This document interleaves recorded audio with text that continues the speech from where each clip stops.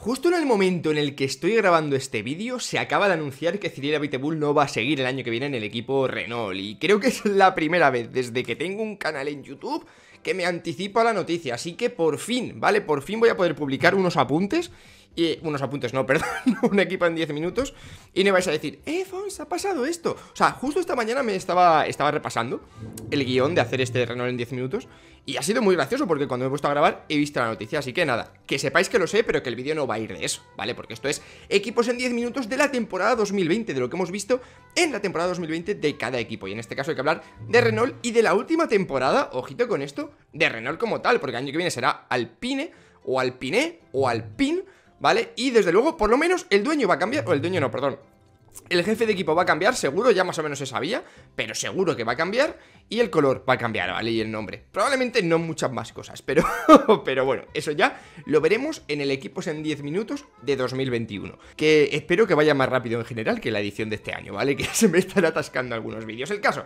ha sido curiosa la última temporada de, de Renault en la Fórmula 1, eh, seguramente mejor de lo que muchos esperábamos en 2019, que nos decepcionó un poco, ¿no? Parecía que 2019 iba a ser el año en el que, wow, este año Renault se consolida cuarto y espérate tú que con el fichaje de Ricciardo no, no peleen incluso con Red Bull tal.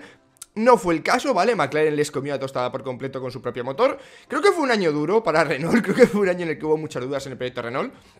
Y este año, la verdad, que es un poquito la falta de suerte la que no les ha hecho ser terceros, ¿no? Porque ha sido cuestión de nada, 21 puntos de diferencia entre este quinto puesto y el tercero. Ha estado muy bonita la lucha por, por este final de podio en el campeonato de constructores y al final se lo ha llevado McLaren, pero, insisto, la diferencia ha sido mínima, ¿vale? Así que creo que es una gran temporada de, Renault en la Fórmula 1. No es su mejor posición en un campeonato de constructores, pero yo sí diría que es la mejor, por, el nivel de competición que ha tenido. Ha tenido fallos y ha tenido cositas que quizá hasta tengan que ver con la destitución de, de Cyril Abiteboul, porque es cierto que como equipo no han funcionado tan bien como, como su rival británico, especialmente McLaren, ¿no? Racing Point ha tenido quizá otros factores que le han ayudado a estar en la posición en la que ha acabado. Pero eh, es curioso cómo, teniendo mejor máquina que McLaren, porque en la mayoría de carreras se veía el Renault con más ritmo que McLaren en clasificación en carrera, no han sido capaces de quedar por delante de del equipo naranja, de la naranja mecánica se usa, es bastante bastante rancio, yo creo, naranja mecánica, ¿no? Eso es para la selección holandesa de fútbol y ya está, aplicarlo a cualquier cosa naranja que vaya rápido, pues bueno, yo discrepo un poco. El caso que es curioso que teniendo un poquito mejor máquina, y ¿eh? hablando siempre de la misma liga, ¿vale? Estamos hablando de diferencias mínimas y una pareja de pilotos similar, porque yo creo que más o menos todos podemos estar, podemos estar de acuerdo en que Ricciardo es un poquito mejor que Sainz, al menos un poquito, ¿vale? Alguno dirá que mucho más, alguno dirá que mucho menos, y que mmm, Lando Norris mmm, está mejor y es mejor que Esteban Ocon, uh, digamos que está equilibrado, no, no han sido capaces, ¿vale? No han sido capaces. Y además en esas carreras en las que los cuatro coches, digamos, competían en igualdad de condiciones, normalmente era McLaren la que quedaba por delante por, yo creo que el gran trabajo en equipo de, de, de los de Zach Brown, ¿vale? Así que, eh, en fin, también os digo, creo que la tercera posición en el campeonato es más mérito de la propia McLaren que de mérito de, Renault, que era, es difícil gestionar un equipo tan bien como lo ha hecho McLaren, ¿vale? Ya hablaremos de ellos cuando toque su, su momento. Pero también ha tenido un problema, Renault principal, más allá de que sean mejor equipo, lo gestione mejor todo, ¿no? Es que la fiabilidad en el asunto, en el coche especialmente, de Esteban Ocon les ha jugado una mala pasada, ¿vale? Luego hablaremos de él específicamente, pero ha habido varios momentos de la temporada donde Esteban Ocon pues tenía a lo mejor 10, 8 puntitos en el bolsillo y el coche le ha fallado, ¿vale? Eso poco a poco, al final la diferencia, insisto, han sido 20 puntos con McLaren en, el campeonato de constructores, mm, con un poquito más de fiabilidad Ocon, quién sabe en qué posición podría haber quedado Renault, que lo intentó, ¿eh? Lo intentó primero en los despachos, recordemos que fueron de los más eh, pesados, entre comillas, que lo entiendo perfectamente con con la demanda al equipo Racing Point por ¡Eh! ¡Eh! ¿Qué pasa aquí con el tema de la copia Mercedes tal? De los que más existieron Al final consiguieron un poquito lo que buscaban Que le restaran 15 puntos Pero no han llegado Ni aún así, ni con esos 15 puntos Han llegado a, adelantar al equipo Al equipo canadiense, ¿eh? Tú miras las estadísticas y cuenta como equipo canadiense Porque como Lawrence Stroll es canadiense No sé, cosas de la Fórmula 1 que a veces es complicado entender Pero bueno, que en general le doy una buena nota a la temporada de Renault Yo, yo no esperaba tanto después de 2019 Veía tambalear bastante el proyecto Pero mira, Creo que han sido, al final han tenido un coche rápido, que es el objetivo de tener un coche en Fórmula 1. Ha sido muy rápido, especialmente los circuitos de velocidad, ¿vale? No es casualidad donde se han conseguido los podios en, este, en este mundial, sobre todo el segundo puesto de Ocon es Akir, ¿vale? Que es fruto de un millón de casualidades, pero eh, hay que tener un Renault en un circuito casi recto con ese ritmo que tenía el coche de Esteban Ocon y luego, por supuesto, los podios de, de Daniel Ricciardo en sitios como Mugello, que también es bastante, bastante rápido, ¿no? Aunque evidentemente hay más factores, ¿no? Que se ha parado antes, que se ha parado después, en fin, ya sabemos cómo funciona esto. En general, buena, buena, buena temporada de Renault. Yo diría buena temporada de Renault. Yo, yo no esperaba tanto. Después de 2019 me, me, decepcionaron un poquito y veía tambalear bastante el proyecto. Pero ahora con esta nueva línea de dirección hacia, hacia eh, Alpine y tal, y ver cómo lo, cómo lo apañan, con Fernando Alonso, en fin, no sé. La última apuesta por un piloto muy mediático no les ha salido muy bien, ¿eh? que es el caso de, Daniel Ricciardo, pero al menos en Fernando Alonso no parece haber un sueldo multimillonario detrás. No lo sé, porque no se han detallado.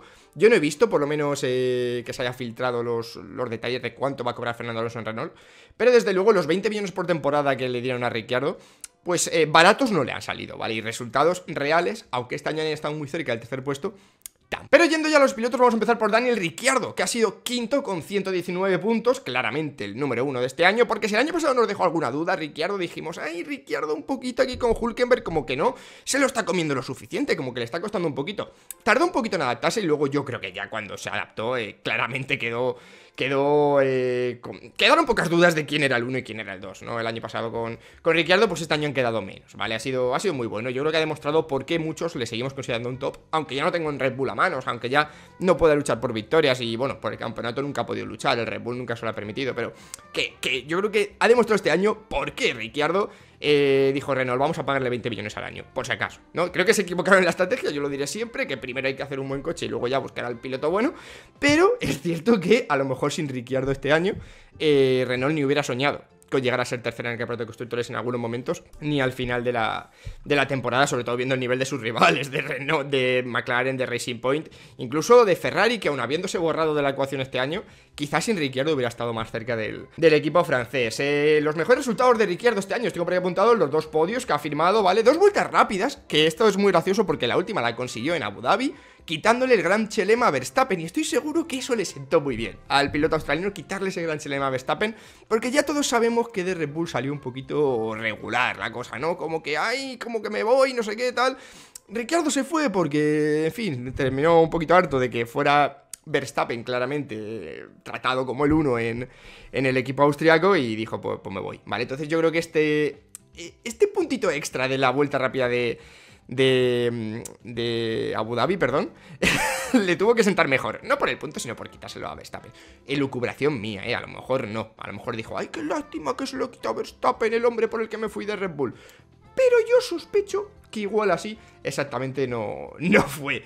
El caso es que ha estado muy cerca también de Checo Pérez, que hay que entender las circunstancias del piloto mexicano, pero es que ha estado estelar. Cada carrera que ha podido acabar Checo Pérez ha sido un espectáculo. Así que era muy complicado competir con eso, pero se ha quedado muy, muy, muy, muy cerquita del piloto mexicano. Así que buena temporada en general de Daniel Ricciardo. Yo creo que, insisto, ha demostrado por qué le hemos considerado muchas veces y yo sigo considerándole un piloto top, un piloto que no puede faltar en la parrilla nunca, vaya, y un piloto que se merece un coche que algún día le permita luchar por un mundial. Y veremos si eso es McLaren. El año que viene, McLaren Mercedes la alianza. El año que viene no, pero todo esto, pues ya sabéis que empezará a contar a partir de 2022. También es cierto, ¿vale? Y esto lo vamos a hablar ahora con Esteban Ocon que ha tenido más suerte con la fiabilidad que su compañero y que la diferencia de puntos para mí es muy bruta, porque hablamos ahora de Esteban Ocon, el piloto francés en su año de regreso a la Fórmula 1, pues a mí, mm, ya visteis, si visteis el vídeo de decepciones, mm, me decepcionó un poquito, ¿vale? Un poquito, o sea, no estamos hablando de que haga una mala temporada, ya expliqué varias veces que a mí que me decepcione algo, no necesariamente significa que lo haya hecho mal, sino que yo a lo mejor esperaba demasiado de él, y creo que es mi caso, ¿vale? Decimos segundo con 62 puntos, pero lo primero que hay que decir, ¿vale? Por si alguien piensa que no me gusta Esteban Ocon, es que esta posición es engañosa. Esta posición es muy engañosa. O sea, no, no, no, no ha estado a la altura de Daniel Ricciardo, ¿vale? No ha estado a la altura eh, prácticamente en ningún momento de la temporada de Daniel Ricciardo pero no tanto, ¿vale? No ha estado tan lejos como para que casi el australiano casi le doblara en puntos. No, no ha sido esa diferencia la real, ¿no? No hemos visto esa paliza, digamos, de, de Ricciardo a, Esteban Ocon. Yo antes hablaba de la suerte porque casi toda la del equipo francés eh, ha ido a caer en las espaldas de, de, Esteban Ocon, lo que decía antes, ¿vale? Ha habido varios momentos de la temporada donde Esteban Ocon rodaba cómodamente en zona de puntos, en zona pues, de conseguir 6, 8, 10 puntitos, quinto, sexto, séptimo, y de repente el coche le ha fallado, y claro, ya no es solamente que tú ahí pierdas 10, 8, 6 puntos, es que se lo das a tus rivales directos. Y eso al final le ha colocado en una decimosegunda posición, solo por delante, eso sí, casi con el doble de puntos, de pilotos como Vettel, que han tenido una temporada desastrosa, o de Kvyat, que bueno, eh, Alfa Tauri le ha permitido menos que, al resto de, sus rivales. También es verdad que Kvyat no ha tenido mucha suerte, pero bueno, de eso ya hablamos de él en su momento. Es cierto que se ha terminado adaptando al coche, que ha ido creciendo a lo largo de la temporada y que le ha acabado muy fuerte, ¿eh? Y no lo digo solo por el segundo puesto de Sakir, que obviamente es como lo más llamativo, que fijaos qué curiosa es la Fórmula 1, lo que hablamos con Vettel en Ferrari, ¿no? ¿Cómo consiguió ese podio en Turquía en la carrera más impracticable de todos y sin... Eh, en la carrera más impracticable de todas. Y sin embargo, Esteban Ocon, que no ha tenido la mayor suerte del equipo este, esta temporada, va y consigue el mejor resultado de Renault en la temporada con ese segundo puesto de, de Sakir en un circuito que obviamente al Renault le iba bien, porque en rectas va muy bien este coche. El motor Renault ha sido muy bueno este año, al menos en términos de velocidad. Y es, muy curiosa la Fórmula 1, ¿eh? Porque cualquiera diría, bueno, el segundo puesto será de Ricciardo. Y no, ahí estuvo Esteban Ocon, obviamente con sus estrategias más acertadas y tal, este tipo de factores. Las cosas que tienen que pasar para que en el podio no haya ni un Mercedes, ni un Red Bull, ni un... bueno, ni un Ferrari este año no, no ha sido raro en absoluto. Así que Buena temporada de Esteban Ocon, al final, aunque no. Aunque yo esperara mucho de él, esperaba mucho de él. Lo cierto es que no, ha cumplido mis expectativas. Pensaba que estaría más cerca de, de Ricciardo. Es cierto que cuando hemos visto a los dos en carrera, normalmente era el australiano el que estaba por delante, pero tampoco es justo, tampoco sería justo decir que no merecía fácilmente 10, 15 puntitos más y un top 10 en el mundial, ¿no? Haber adelantado a Gasly y a Stroll, a lo mejor en el, en el mundial. Pero bueno, 62 puntos, decimosegundo y la duda que me queda es que si le hemos visto este año sufrir tanto contra Ricciardo, mm, el año que viene contra Fernando Alonso mm, no debería sufrir mucho menos, ¿no? Es lo que nos dice la lógica. Veremos qué pasa. Y nada más, esto ha sido más o menos Renault este año. Me va a dar pena la marcha de Bull. Veremos si se hace el tatuaje igualmente. Yo creo que sí, porque es una apuesta con Ricciardo. Os recuerdo, ¿vale? Que estoy un poco despistado de qué estoy hablando. Bull le dijo a Ricciardo que si conseguía un podio en esta temporada, pues que se hacían un tatuaje juntos, que él decidía el tamaño y Ricciardo el diseño o algo así. No sé si era al revés. El caso que veremos si pasa, pero ahora si pasa no va a ser tan gracioso, porque no vamos a ver a Viteru en el paddock, ¿no? Veremos un post en Instagram y ya está. Pues bueno, pierde un poco de efecto, pero en fin, ¿qué le vamos a hacer? Espero que el proyecto Alpine siga al menos por esta línea ascendente que ha pillado Renault esta, esta temporada, a ver qué tal Alonso. Si alguien, por ejemplo, no, no sigue mucho la Fórmula 1, se quiere enganchar el año que viene y quiere saber qué ha sido de Renault este 2020, pues le podéis pasar este vídeo, ¿vale? Para que vea que... y para avisarle de que no espera un coche ganador el año que viene. Que puede ser un coche que consiga algún podio, por supuesto, ¿vale? En alguna carrera no necesariamente tan loca como, como hablaríamos hace unos años, pero que es inviable ver a, Fernando Alonso ni a Ocon el año que viene ganar carreras. Sí, Gasly ha ganado una este año, pero estas cosas pasan cada 10 o 12 años. Y, no sé, que disfrute, simplemente que disfrute de ver a Fernando Alonso pues en posiciones entre la cuarta y la octava. ¿Vale? Que se moverá por esa zona y que ganar algún podio, por supuesto, pero que el año de soñar es 2022 y aún así hay que estar con calma. ¿Cómo con calma estás si entras conmigo en directos que suelo hacer por la tarde en Twitch, si me sigues en Twitter o si me sigues en Instagram, por ejemplo, ¿no? En mis redes sociales más principales que tengo en este momento right now. Yo es un consejo que te doy, ¿vale? Porque además, un estudio, ¿vale? Que he visto esta tarde, eh, el 80% de personas que me siguen en todas mis redes sociales son más felices, en el desde el momento en que lo hacen son más felices. Y el 20% que queda, bueno, es que el 20% que queda ya son directamente las personas más felices del planeta Tierra. O sea, este, este estudio me la acabo de inventar, pero es cierto.